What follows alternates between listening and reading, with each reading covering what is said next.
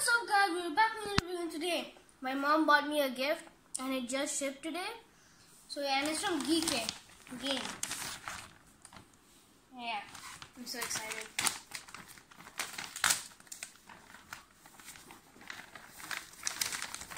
It's here.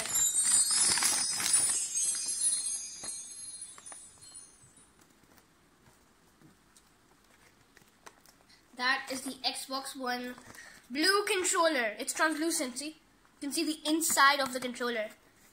You look so cool! But it obviously needs a wire because it's bought with a wire. Pick your flavor. Open it. Let's see. So just in case we need to turn it, just gonna move it nicely. Okay, nicely.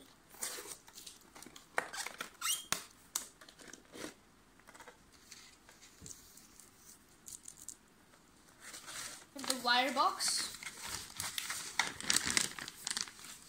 Xbox Live Gold Trial Essential Box. So how long is the wire?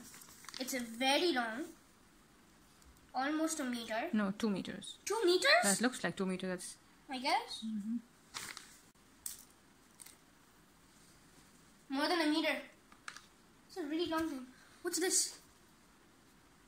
I don't know what that is. Anyways, here's the controller.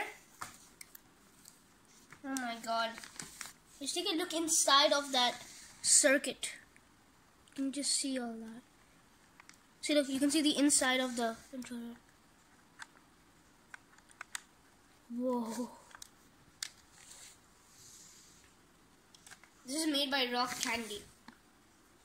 So yeah, wire controller for Xbox One. PDP.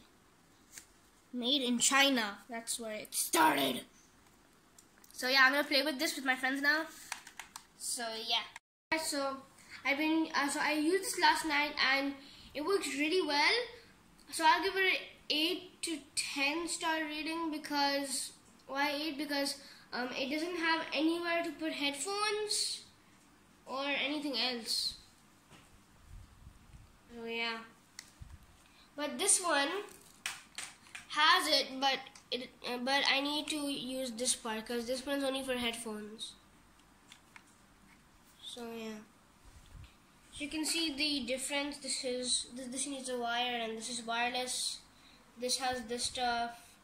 This one does not have it. And this doesn't need a battery pack because it's it needs a wire. And this has a battery pack. So thanks for watching. See you next time. Goodbye.